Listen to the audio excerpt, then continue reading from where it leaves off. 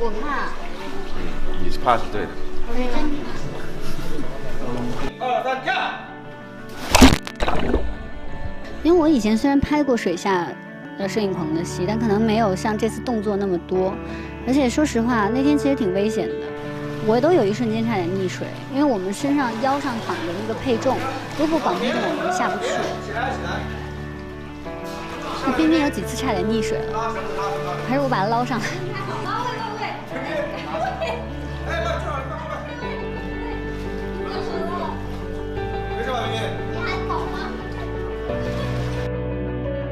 其实说实话，就是第一次进去的时候我就懵了，就感觉自己被扔在一个大海里面，就是我会游泳，但是在那个里面是没有用的，就完全没有任何技能的感觉。哦，哎，沉下去了，就一下真的进去了，我就怕了，不知道为什么。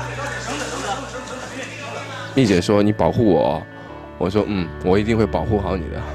然后其实当时是信心满满嘛，然后下去的时候就感觉自己呛了好好久的水，就完全是一个溺水的状态，完全没有在演戏，就是不知道要演什么，反正就就是当时就是感觉自己呛的不行了。然后蜜姐她在保护我，他把我一把拎上来了。我还在演戏，那个人已经溺水了，你看他在干嘛？